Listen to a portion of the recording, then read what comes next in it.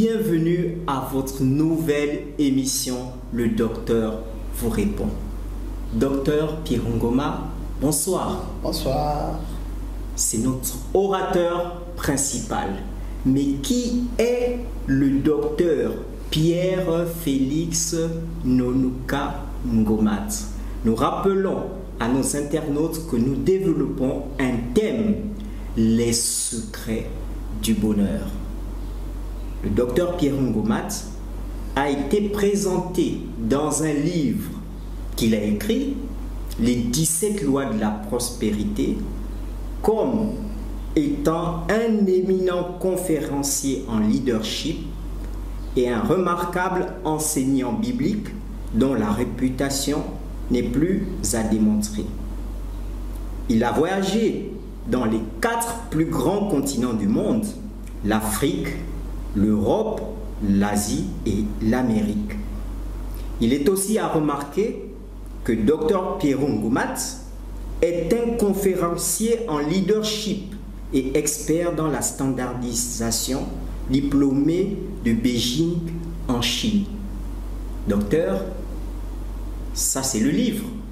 Nous voulons savoir qui êtes-vous? Merci euh, de m'inviter à, ce grand plateau de ciel euh, international, la Commission internationale des églises du Logos. Merci euh, Son Excellence Ulrich, notre cher communicateur dans cette belle télévision en ligne.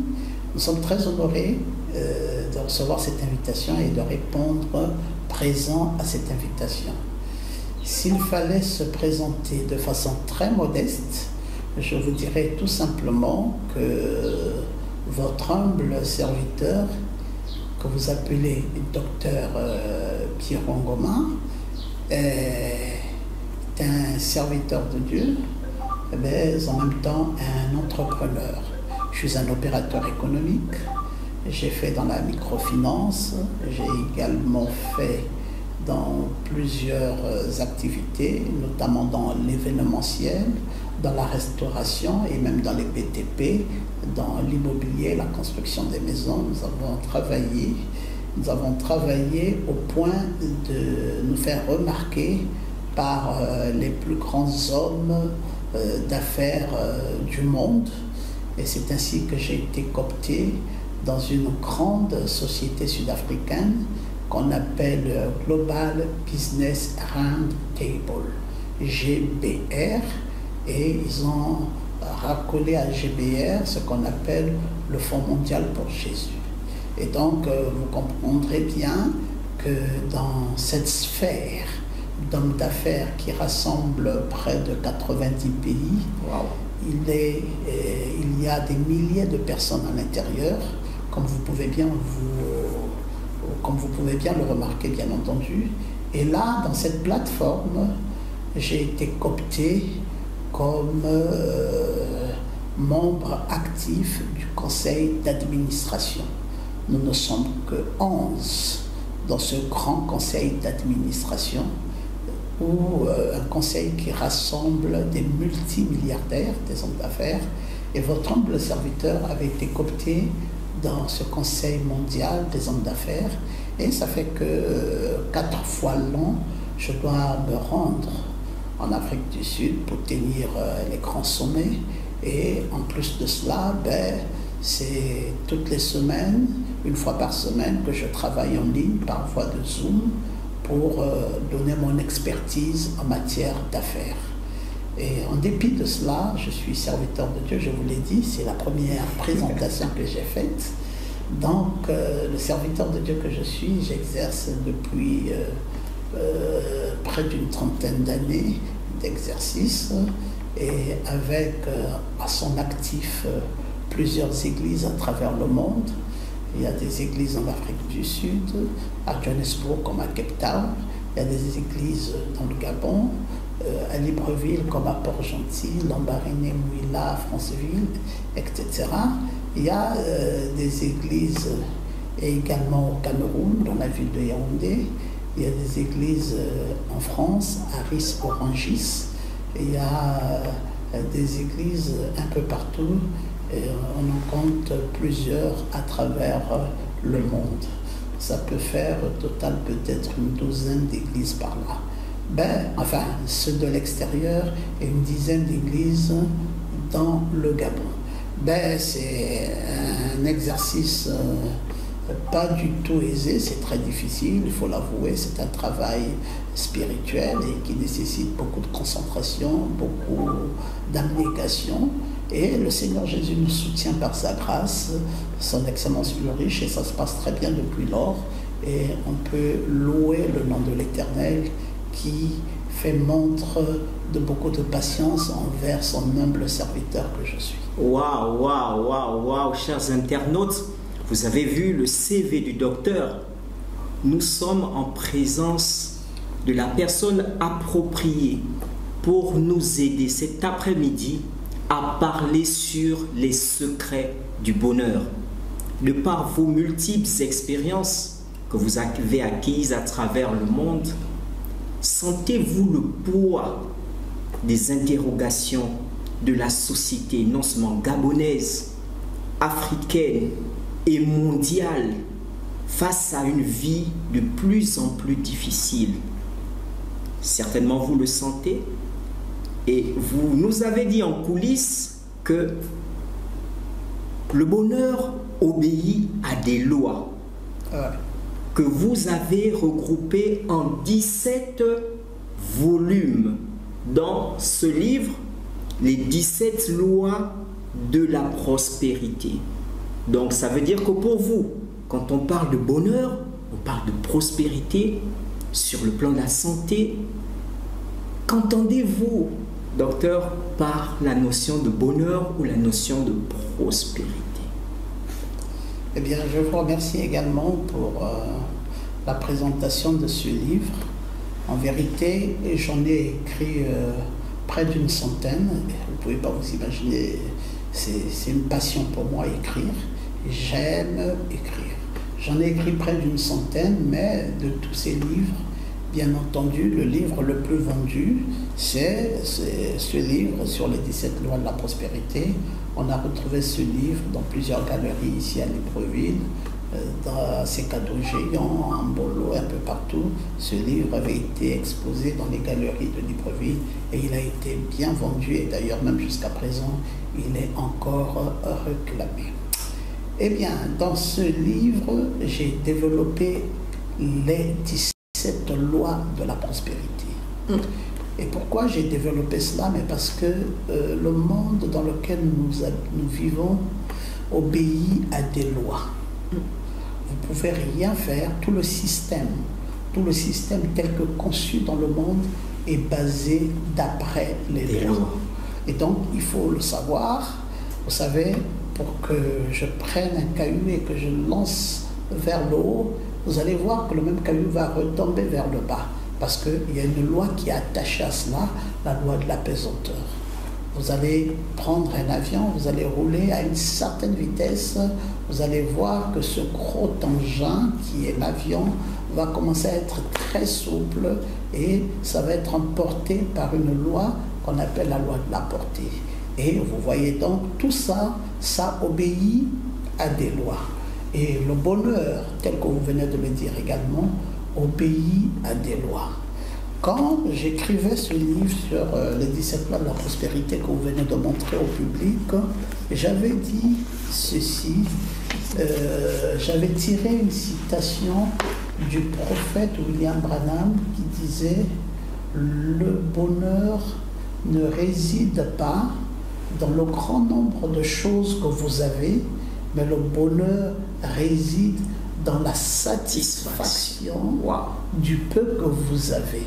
Et dans, dans le bonheur, il se trouve qu'il y ait la satisfaction. C'est pour cela que le bonheur est un état durable de plénitude et, conjonction de coordination, de satisfaction.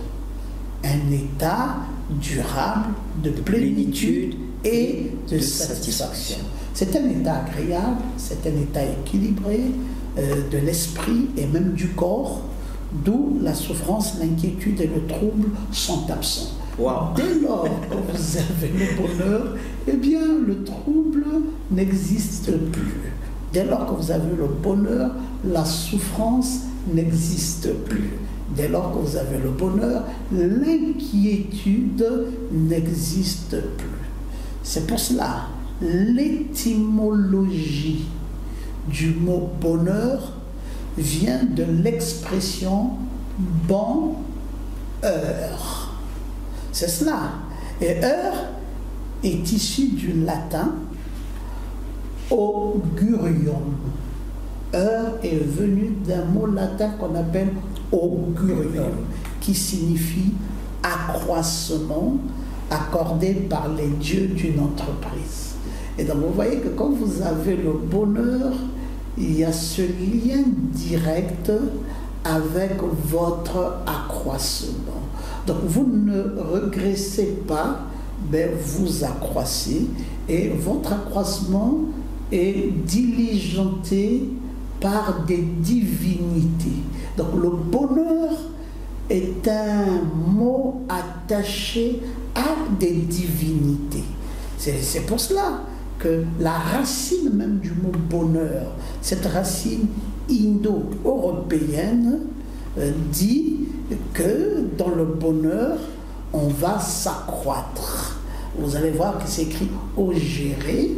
Au géré ici, au actus, veut dire augmenter. Alors, quand nous disons que vous voulez connaître le bonheur, vous ne devez pas garder le statu quo.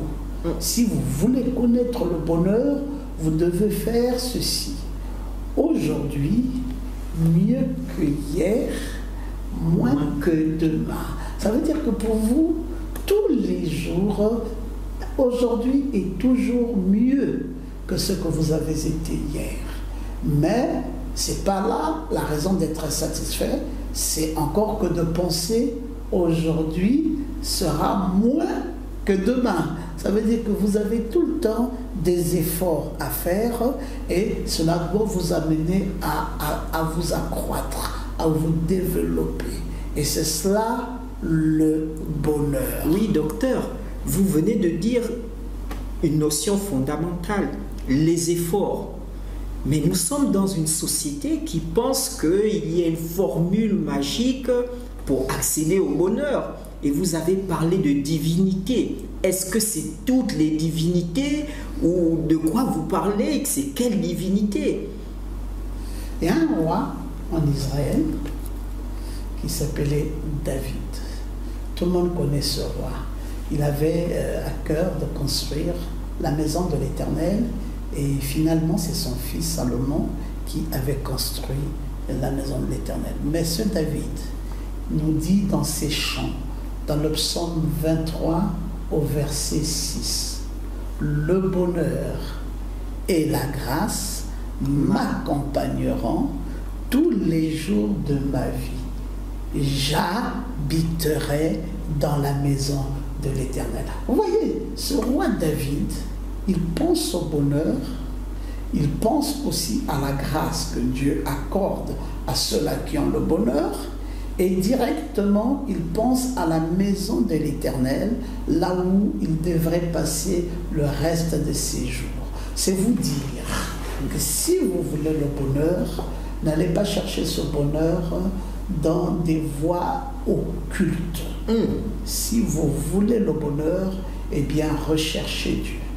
Parce que c'est Dieu qui est l'auteur du bonheur et c'est lui qui accorde le bonheur à ceux-là qui le veulent. Vous savez, vous avez parlé de l'Africain et de l'Afrique, et vous avez dit tout à l'heure que les Africains ont un problème, euh, ils ne font pas suffisamment d'efforts. Ouais, Je n'ai pas oublié ce que vous avez dit tout à l'heure. C'est pour dire que l'Africain devrait d'abord se raviser sur le plan spirituel, sur le plan métaphysique, avant de pouvoir prendre de l'envol sur d'autres plans.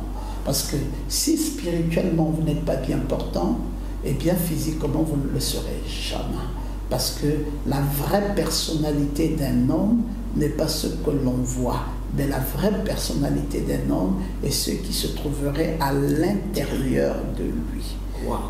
Voilà. C'est pour cela la manne qui tombait, la manne qui tombait en Israël, qui tombait le soir, et que les enfants d'Israël ramassaient le jour, s'ils venaient à prendre cette manne vers midi, alors que la manne était tombée dans la nuit, et qu'ils n'avaient pas pris la manne très tôt le matin, qu'ils ont laissé un peu de temps après pour venir prendre la manne, ils ne retrouvaient plus la manne parce que la manne se détériorait. Alors, et elle disparaissait. Mais si on voulait donc garder le plus longtemps cette manne, il fallait la prendre et la mener dans le lieu très saint. Alors dans le lieu très saint, la manne ne peut jamais être détériorée. C'est pour cela la raison pour laquelle il faut Dieu. Pourquoi dans le lieu très saint? Mais parce que là-bas, il y avait la gloire de la Shekinah. Alors, la gloire de la Shekinah qui frappait dans le lieu très saint ne pouvait pas faire en sorte que la manne puisse se détériorer. Et la manne était conservée là dans le lieu très saint et ne pouvait jamais disparaître. C'est important cette atmosphère spirituelle. Le bâton d'Aaron, vous allez vous en souvenir, un bâton sec, comme une Afrique sèche. Eh bien, pour que ce bâton donne des amandes, il a fallu prendre ce bâton qui se trouvait dans le parvis extérieur, l'emmener jusque dans le lieu très saint, là où se trouvait, je me répète une fois de plus, la Shekinah, la gloire de la Shekinah. Alors, quand ce bâton sec d'Aaron fut emmené dans la présence de la Shekinah, il y a eu des amendes qui sont sorties et le bâton, nous dira-t-on, a fleuri. Alors, cette Afrique a besoin de fleurir, mais qu'elle commence par le spirituel, qu'elle retrouve le vrai Dieu, qu'elle retrouve le Seigneur Jésus-Christ, qu'elle s'éloigne de ces traditions qui la retardent, soi-disant qu'elle est conservatrice, elle veut rester dans les traditions de ses ancêtres et elle pense que l'évangile du christianisme nous a été apporté par des blancs. Voilà encore une autre erreur. Parce que cet évangile, c'est d'abord les Noirs qui ont apporté l'évangile aux Blancs avant que les Blancs ne reviennent nous rapporter l'évangile. Ça n'a jamais été que les Blancs nous ont apporté l'évangile et l'homme noir parce que la civilisation a commencé ici en Afrique. Le jardin d'Éden dont nous parlons était ici en Afrique. Le jardin d'Éden était en Afrique.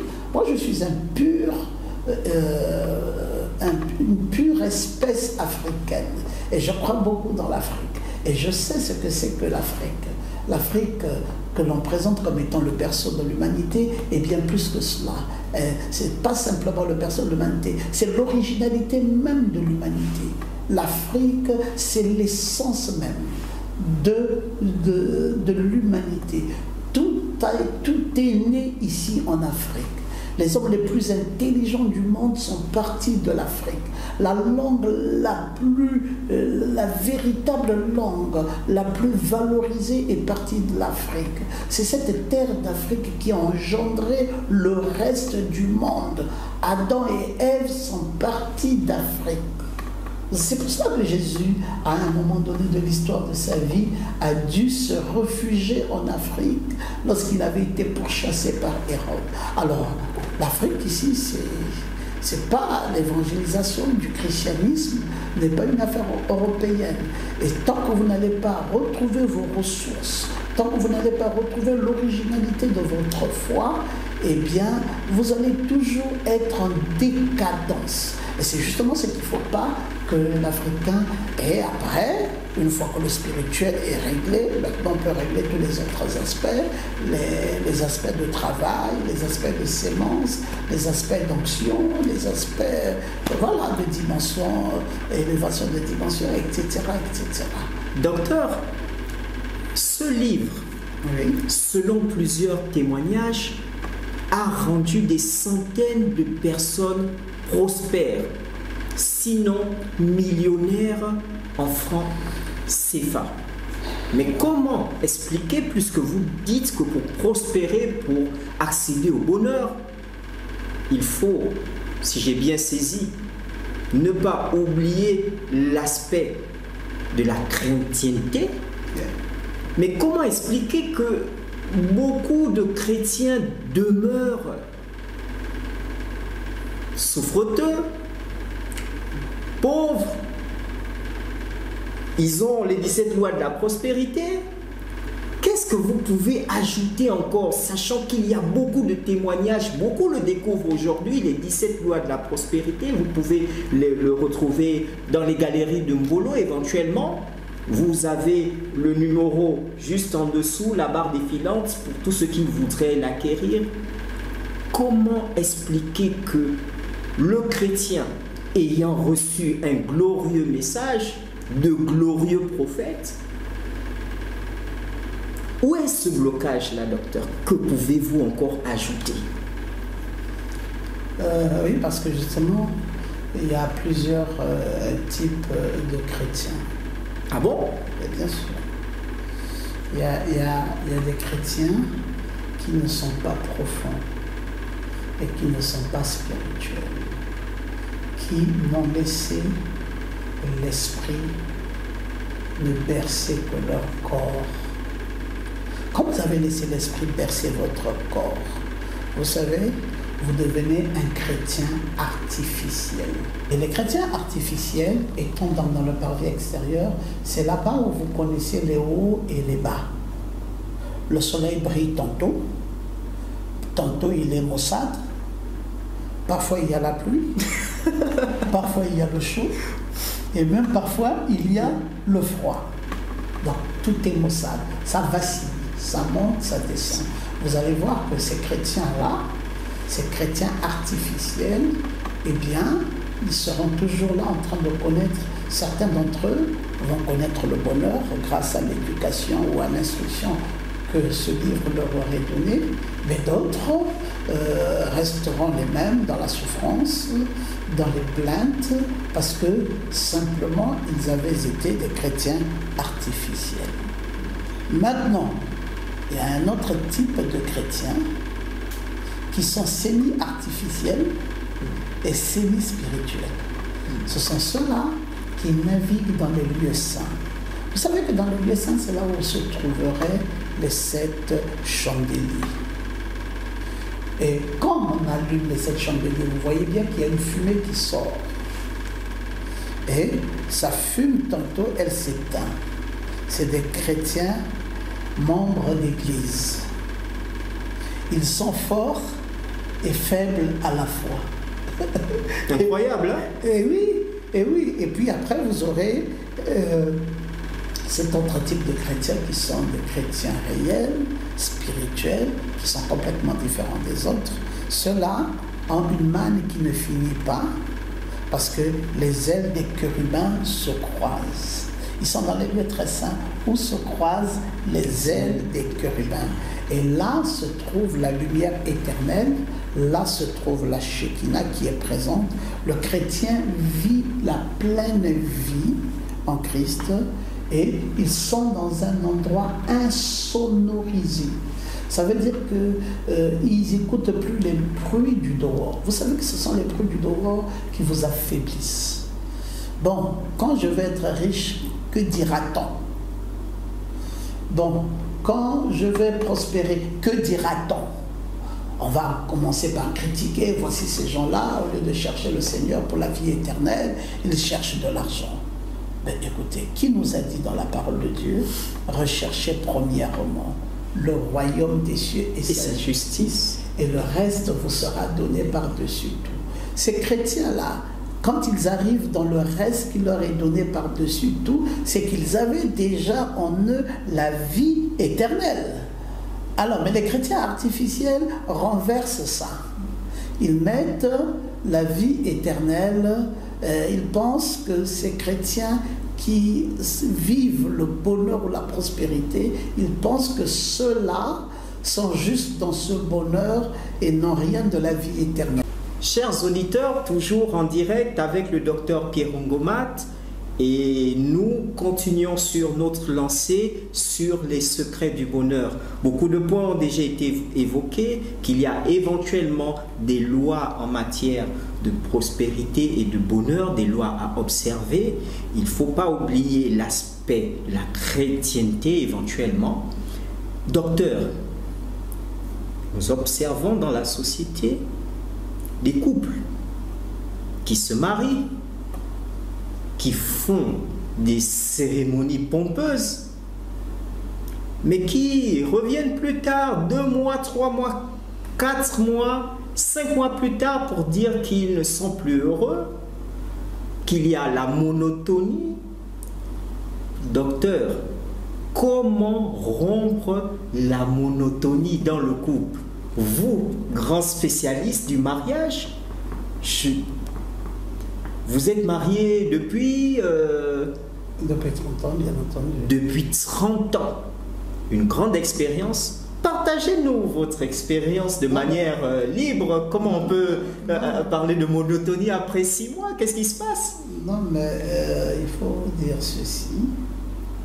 C'est que l'homme aspire au meilleur. Vous avez déjà vu pourquoi un bébé crie? Quand il est dans son berceau, il crie, il crie, il crie.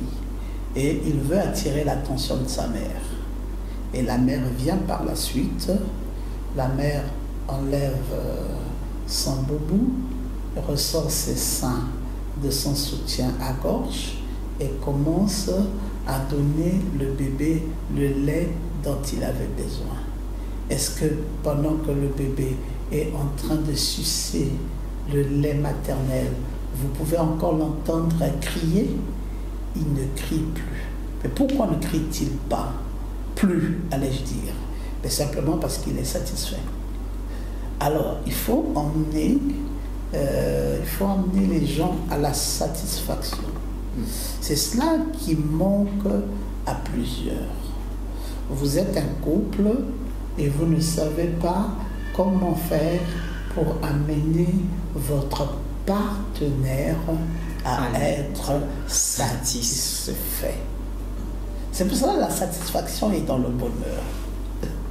Vous voyez, donc c'est important que votre euh, partenaire de vie soit satisfait. Alors, la satisfaction est relative. Pourquoi? Parce que si vous êtes un lion, même quand vous êtes un lion, quand vous naissez, vous boirez du lait. Hmm.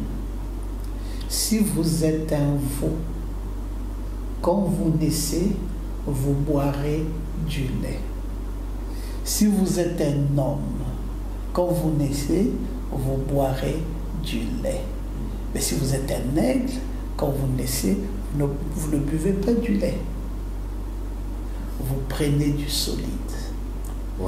Pour satisfaire un homme aujourd'hui, ou satisfaire une femme aujourd'hui, vous devez épouser la nature de l'aigle et donner du lourd à votre partenaire. Ça pourra faire l'objet d'une autre émission dans laquelle je vais vous instruire comment peut-on donner du lourd à son partenaire?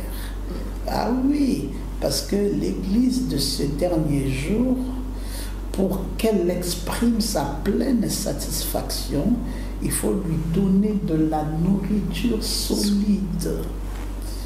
Et la nourriture solide appartient à notre âge, parce que nous sommes dans l'âge de l'aigle l'arbre de vie est arrivé maintenant à sa pleine maturation. Il faut donner du lourd à votre épouse. Elle vous aimera pour toujours. Vous pourrez vivre même 100 ans. Elle sera toujours satisfaite. Donnez du lourd à votre époux. Il sera toujours satisfait. Et quand vous-même vous êtes léger, parce que vous êtes toujours un bébé au lait, bébé au lait dans votre instruction, Le message qu'on a reçu, le message révélé, tel que révélé par le prophète William Branham en ce temps de la fin, c'est la pleine parole qui a, ramené la pleine puissance. Hmm. Vous voyez? Oui, parce que ici, il s'agit de l'omnipotence et l'omniprésence. Mais l'omnipotence, qui est la pleine puissance, et l'omniprésence, qui est la pleine présence, tout ça se trouve enfoui dans l'omniscience. C'est l'omniscience qui englobe l'omnipotence et l'omniprésence. Alors vous allez chercher des puissances, remuer le sol, bah, bah, je te délivre au nom de Jésus. Qui vous a dit que tout ce broie-broie que vous faites là est la vérité? Chez nous au Gabon, on dit le Munda Munda. Pourquoi vous faites du Munda Munda dans le foyer? Le Munda Munda, chaque fois le Munda Munda. Calmez-vous. Le foyer n'a pas besoin de beaucoup de bruit, de beaucoup d'agitation, de bagarre. Soyez lourd sachez bien faire les choses et vous serez respecté. Les gens croiraient, croira en vous et en plus de cela, euh, vous fonderez une famille digne de ce nom et toutes les personnes auront suffisamment d'admiration pour votre personnalité. Est-ce, docteur, entendre par ce que vous avez dit que une femme, pour être heureuse, Beaucoup disent c'est la soumission. Ouais. Est-ce que c'est la soumission qui peut faire en sorte que qu'un mari soit satisfait? Vous vous parlez de la loi aussi de l'humilité. Est-ce que le docteur, avec sa grande expérience, peut nous éclairer sur euh, ces, quelques aspects La loi de l'humilité, est-ce qu'elle conduit au bonheur? Dans un couple, est-ce que c'est important? Qu'est-ce que vous en pensez, docteur? Écoutez, quand vous parlez de soumission, c'est un mot composé. Sous mission. Ça veut dire que vous êtes sous la mission. Mais quand une femme est sous la mission d'un homme, ben voilà l'harmonie parfaite du couple. Parce que c'est l'homme qui engage la mission et elle, elle est sous la mission de cet homme. Ben, une soumission ne veut pas dire euh, être là comme euh, celle euh, qui devient la serpillère de son mari. oui, ben, tu dois être soumise, hein, tu te tais parce que tu n'as rien à dire ici. Là. Une femme doit être soumise à aller. Non, c'est pas ça la soumission dont il est question ici. C'est que la femme soit sous la mission de l'homme. C'est comme cela que ça avait été créé depuis le commencement des temps. Adam est celui qui avait été mis en premier là, et Ève est venue de la côte d'Adam pendant qu'Adam, ils étaient tous deux nus dans le jardin, elle a été prise de lui. Elle avait été prise d'Adam le huitième jour, après que les jours de la création aient pris fin. C'est là que Ève a été prise d'Adam. Elle n'a pas été prise d'Adam le sixième jour, le septième jour, le huitième jour, après que les jours de la création aient pris fin, après que Dieu se soit reposé sur le septième message d'Apocalypse 10. C'est profond tout ça. Alors, Ève a été identifiée le huitième jour. C'est pour cela qu'elle est la mère de tous les vivants. Alors, toutes les églises que nous avons là sont des églises du septième jour, les églises de l'âge de l'église de Laodicée. Parce qu'il y a l'âge d'Éphèse, de Smyrne, de Pergame, de Thyatire, de Sardes, de Philadelphie et de Laodicée. Toutes ces dénominations-là sont des dénominations laodicéennes. Elles ne peuvent pas avoir la révélation du huitième jour parce qu'elles sont absentes. Une femme qui est montée dans la stature de Ève sera soumise à son mari. Et la soumission de la femme n'amène pas l'homme à la vantardise. la soumission de la femme amène plutôt l'homme comprendre qu'il a besoin d'être humble. Quand un fût, un tonneau comme nous l'appelons, est vide, frappé dessus, ça fait énormément de bruit. Mais dès lors qu'il est plein, il est, même si vous frappez un grand coup, vous n'entendez pas des du bruit, parce que ce fût est rentré dans l'humilité. Quand un épi de maïs et que les maïs sont pleins, cette épice, cette épi de maïs n'est pas debout comme ça. Elle, elle tend maintenant à tomber. Ça veut dire que sa pleine maturité l'amène à l'humilité. Eh bien, c'est compliqué. Euh, la génération actuelle qui ne comprend pas les Saintes Écritures et pense que l'humilité c'est une fabrication. Non, l'humilité c'est euh, le principe, le principe du fait que vous soyez plein. Oui, quand vous êtes plein, vous êtes humble. Et en ce moment-là, vous pouvez trouver grâce auprès du Seigneur, telle la grâce que Noé avait eue pour construire une arche et pour sauver les gens. Vous pourrez sauver les gens parce que vous êtes humble, les gens peuvent vous écouter et les gens peuvent vous faire confiance. Eh bien, on a besoin euh, d'obéir à cette loi d'humilité, comme vous le dites si bien, mais aussi obéir à, cette loi euh, d'humilité et de soumission.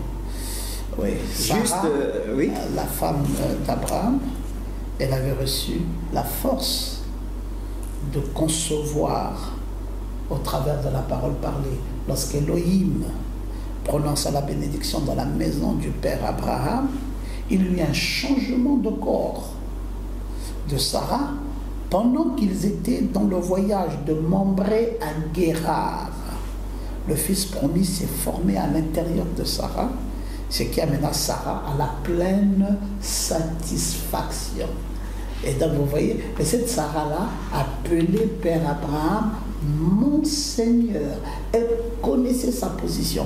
Aujourd'hui, j'allais euh, vous dire, le problème, c'est que les gens ne connaissent pas leur position. Leur position. Et quand, tant que vous ne connaissez pas votre position, eh bien, vous faites beaucoup de bruit et puis, bon, vous n'avancez pas. Il vous est difficile d'atteindre votre pleine satisfaction.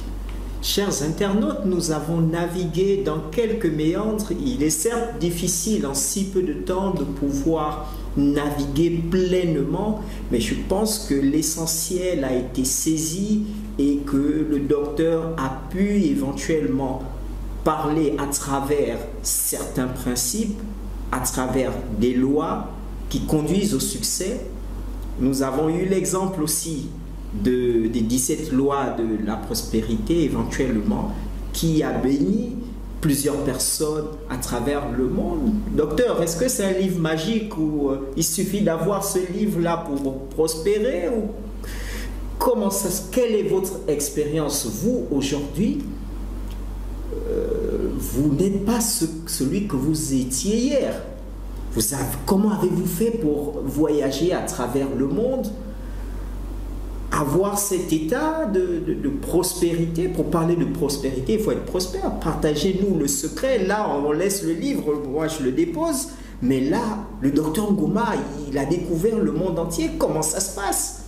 Dieu m'a fait la grâce, effectivement, de voyager à travers le monde. J'ai fait euh, deux fois le tour du monde. Bon, c'est la grâce, simplement la grâce du Seigneur. Euh, c'est Dieu qui a trouvé des voies et moyens, nous donnant l'occasion ainsi de voyager à travers le monde. C'est pas de la magie, non, c'est vraiment pas de la magie. Vous savez, le prophète Agé disait Mon peuple meurt par faute de connaissance. Et les gens euh, n'ont pas la connaissance. S'ils avaient la connaissance, ils ne seraient plus là où ils sont. Ils meurent et j'aime bien l'expression d'une autre des versions qui dit Et mon peuple est détruit. Donc, euh, mourir encore, ça va, mais être détruit, parce qu'il lui manque la connaissance. Il faudrait que les gens aillent vers la voie de la connaissance. Ils ont besoin de connaître. Dieu, pour créer ce monde, il était doté de connaissances. Le scientifique, pour faire cette caméra, était doté de connaissances. Maintenant que je suis en train de parler, le monde entier peut me suivre. C'est encore là la connaissance. La connaissance est, est incontournable de nos jours. Si vous connaissez les lois et que vous les appliquez, même les yeux fermés, vous prospérerez. Vous prospérerez. C'est aussi évident que cela puisse être. Et si vous les ignorez, vous n'allez donc pas les appliquer et vous ne connaîtrez jamais de prospérité. Dieu a attaché le système du monde dans lequel nous vivons par des lois. Il a dit par exemple, une des lois, l'homme gagnera à la sueur de son front. Toi tu dis, je ne vais pas transpirer, mais je vais gagner. Le succès, c'est 90% de transpiration et 10% d'inspiration. Le succès, je le répète, c'est 90% de transpiration et 10% d'inspiration. Bon, toi, tu veux prendre l'inspiration, tu mets en 90%, et tu veux prendre la transpiration, tu la mets à 10. Tu ne vas jamais réussir, tu ne connaîtras pas le succès. Parce que c'est une loi. Et c'est une loi divine. L'homme gagnera à la sueur de son front. Il faut travailler. Ben, si tu refuses de travailler, tu es paresseux, ben, la pauvreté te surprendra. C'est ça qu'il nous est dit, faites très attention, levez-vous tôt, de peur que la pauvreté vienne vous surprendre. La pauvreté est là, aux aguets, il veut prendre le paresseux, il veut le renverser. Il faut travailler. Ben, J'ai dit tout ceci ordonné dans l'angle du divin. Vous devez retenir ceci. N'oubliez jamais, n'oubliez jamais que ça part du spirituel. Sarah a reçu sa force à travers la prédication de la parole. Si Elohim n'avait jamais prononcé la parole, la sémence ne serait jamais venue et le fruit du, Fils promis non plus n'arriverait pas. Mettons-nous devant Elohim, mettons-nous devant la parole ointe, écoutons-la, saisissons-la, et c'est ainsi que nous connaîtrons une transformation et de là viendra notre prospérité. La prospérité n'est pas une affaire européenne, encore moins une affaire américaine, c'est une affaire de tous. Oui, c'est Dieu qui l'a voulu, il veut que nous prospérions à tous égards, qu'on prospère l'état de nos âmes et que nous soyons en bonne santé. C'est la volonté parfaite du Seigneur. Et l'Africain doit prendre conscience aujourd'hui de son état spirituel, doit se réveiller conséquemment pour travailler et à la fin cet Africain sortira de là avec des grandes victoires. Aussi certain que cela puisse être parce que c'est lié à des lois. Chers internautes, chers auditeurs, je sais que vous avez soif de boire, de boire et encore de boire, mais nous sommes tenus par les délais. Nous restons ouverts à travers vos commentaires.